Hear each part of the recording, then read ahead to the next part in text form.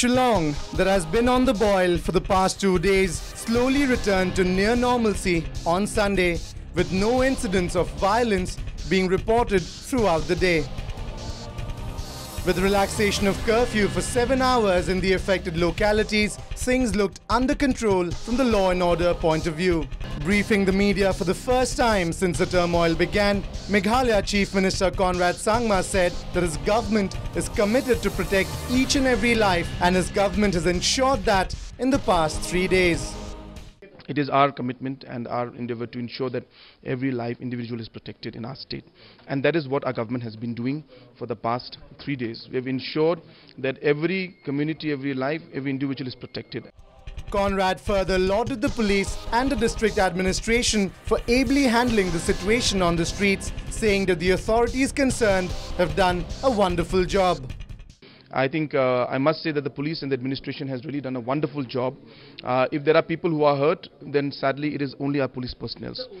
The Meghalaya Chief Minister said that his government is committed to finding an amicable solution to the present crisis. He added that to reach a proper solution, one needs to discuss things across the table.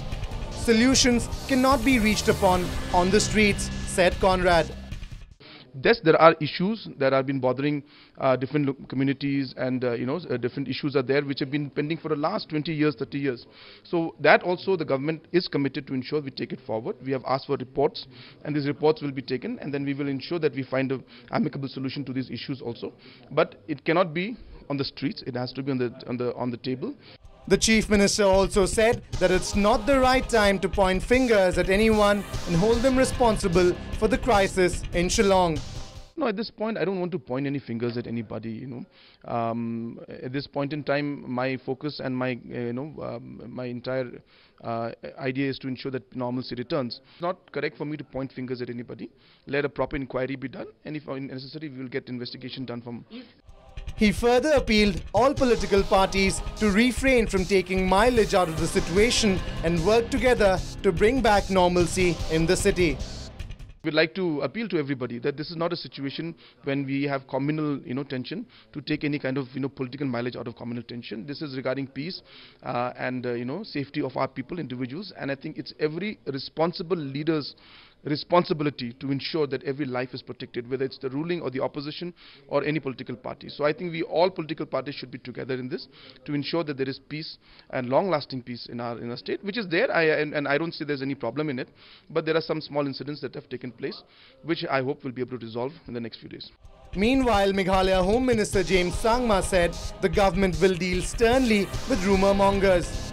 Sangma added that adequate security arrangements are in place and the government is monitoring the situation very closely. जो भी लोग आ, आ, लोगों को insight कर रहे हैं mob को और जिन्होंने गलत खबरें फैलाई हैं सोशल मीडिया में मैं आपको कहना चाहूँगा कि हम लोग बहुत ही सख्त तरीके से हम लोग इनके खिलाफ में एक्शन लेंगे। एडिक्वेट पुलिस फोर्स है अभी उस जगह में जहाँ पे है और हम लोगों ने छः additional companies ministry of home affairs से मंगवाया और ये एडिशनल फोर्सेस को हम लोगों ने अभी डिप्लॉय कर दिया है ड्यूटी पे। The Shiromani Akali delegation that is in Shillong and met Chief Minister Conrad Sangma earlier in the day lauded the state government for tactfully handling the situation. Stating that the people of Shillong are peace-loving, Akali Dal leader Manjinder Singh Sirsa hoped that normalcy would soon return to Shillong.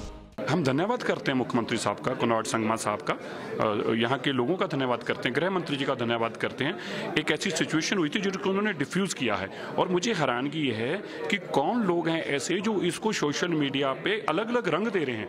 कोई धार्मिक रंग दे रहा है, कोई political रंग दे रहा है। यहाँ तक कह दिया गया कि दो हज़ार शरणार्थी कैंप्स में शिफ्ट कर दिए गए हैं। यहाँ तक कह दिया गया कि गुरुद्वारे को आग लगा दी गई है।